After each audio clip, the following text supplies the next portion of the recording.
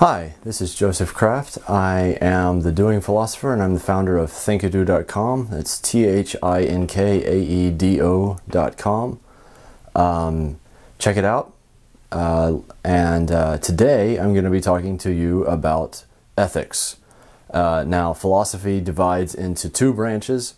They are metaphysics or what is, you know, questions about ultimate reality and the nature of time and being and those sorts of things, and questions of what should be or what we should do. Those are that's ethics. That's what we're going to be talking about today. Um, so before we get started, if you would uh, click the like button if you like this video. Chances are you have friends that would like it too, and I would appreciate it, and your friends would appreciate it. Uh, so like it, share it, pin it, do whatever it is you do. So uh, let's get started. Ethics uh, breaks down over the ages that people have answered the question of what we should do different ways. The, uh, the oldest way, and the first that we're going to be talking about, is called divine command theory. And that just means that what is good or what you should do is what God says. Uh, that seems pretty straightforward. Uh, the problem is that you run into all sorts of questions about whose God says, or who gets to determine what God says, who, you know, who interprets the Holy Scripture, who is the prophet that we should listen to. There are conflicting prophets. Uh, the classic textbook example of this is the Crusades. Uh, during the Crusades, you had uh, the uh, the commander of the Muslim army, Saladin. Uh, he uh, executed the Templar Knights and the Hospitallers after the Battle of Hattin. Uh, I think I'm saying that right, Hatim or Hatim. I can't remember now. Uh, he, but he he had them executed, uh, presumably thinking that that that was God's will. Then along came Richard the Lionheart, the English king, and he executed 3,000 Muslim prisoners, presumably thinking that was God's will. And then Salahuddin again, then in, re in retaliation for the Muslims that were killed, executes his prisoners in Damascus. So this is an example of, of two men, uh, both thinking they were doing God's will, both probably would agree with divine command theory, obviously on very different sides of the spectrum or of, of, of what they thought was God's will. Um, now, uh, the, the next theory that I want to get into, moving along pretty quickly here, is uh, virtue ethics. And this started with Aristotle. No, I'm sorry, it didn't start with Aristotle, but Aristotle was the best, the classic example, if you will, of, of a, a virtue ethics philosopher. Virtue ethics doesn't talk about the action that's good, it's about the character that's good. So I'm a good person uh, because I have good character, because uh, because I'm virtuous, because I'm wise, or because I'm brave, or because I'm just or prudent. These are the things that make me good. It's not so much about the actions, it's internal, it's me. So uh, the, the classic example of this is Homer and his warriors. So the, the Homeric warriors, uh, you have, you have um, uh, uh, Hector and Achilles. They were both good because they were brave. Never mind the fact that, that they, they uh, fought to the death in single combat. Um, King Priam and Ulysses were both virtuous. They were both good because they were wise. Never mind that Ulysses used his wisdom to trick King Priam and sack the city. That doesn't come into it. The, the, the, the focus is on their character. So that's virtue ethics, that's Aristotle. Um, moving right along, you get to uh, deontology. This is this is duty-based ethics. This moves out of the realm of of uh, what is good for me and moves it to the external, to what you do outside of yourself. It's not about your character anymore.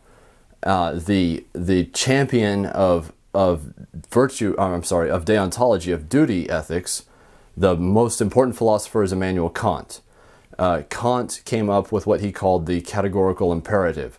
That is, what it is your duty to do categorically, without question, and what it's your duty to not do. So, what Kant would say was your duty to do would be to always treat other people as means and never as an ends. That is, uh, um, I'm sorry, I said that wrong. As ends and never as means. So, ends are uh, the goals that you work towards. The means are the way you get there. So you, you're never to use people as merely a way to get to a means, to get to an end. You're always to treat them as ends in and of themselves, that give them a certain amount of dignity. Uh, the, the other thing that, that Immanuel Kant said was that you must always, it is your duty to only act in such a way that you could will that your actions be universal law. That means that anybody else acting under similar circumstances would have to do the same thing. So, uh, this is, you, you could say, if you're trying to get away with a lie, then you have to think, well, is it permissible? Could I say that universally I could will that everybody under these circumstances would lie? The answer, of course, would have to be no, because if everybody lied under those circumstances, then everybody would know that everybody was lying, and the lie wouldn't be effective. So lying for Immanuel Kant could never be acceptable, at least not under those circumstances. Uh, then the next uh, theory of ethics is utilitarianism. This is the most commonly cited theory today. Uh, uh not that people uh, will cite it outright, but that they'll appeal to to the idea of it. And it's it's that if you have two uh, paths that you can go, you have two options. Which one do you do, A or B? Well, utilitarianism says you have to do the one that will bring the most happiness to the greatest number of people. That's the right action, and the other action would then be the wrong action. Uh, the champions of of utilitarianism would be Jeremy Bentham and John Stuart Mill. Those are the names you need to know if you're taking a, uh, an ethics test on this. Jeremy Bentham, John Stuart Mill. So, uh, utilitarianism then is uh, it sounds great, you know, do the do what what brings the most happiness to the most people, but you get into all sorts of problems with how do you know what brings the most happiness to the most people. Do, do all people count equally? Does all happiness count equally?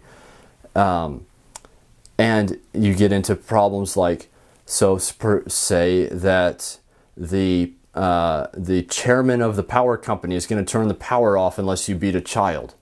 Nobody's going to know, but you just have to beat the child every day, and he'll keep the power running, and it'll keep the economy going. It'll keep you know, the people on ventilators at the hospital will stay alive. Everybody will be happy. Nobody will have any problems except for that one little child. Well, to most people, this would be a repugnant notion. Certainly, you wouldn't do that. But it's it, in in pure utilitarianism. The only person that suffers from that is the child, and maybe you, the the beater. But that would be the right actions. The other problem with utilitarianism is that you can never really know if an action is the right action until you see its consequences. It's, it's, it's also called consequentialism. It's based on the consequences. And finally, you can never really know that it was the right action because you, if you chose path A, you can never see the consequences of path B. And so you can never know that you really brought more happiness to more people that way. Um, so that is ethics in a nutshell. That is how to cheat on an ethics exam. I hope you've enjoyed it. Uh, check out the website, thinkaedo.com. I'll put a link below. Uh, like it, share it. Let me know in the comments what you want to hear next. And I appreciate you watching. Thanks very much.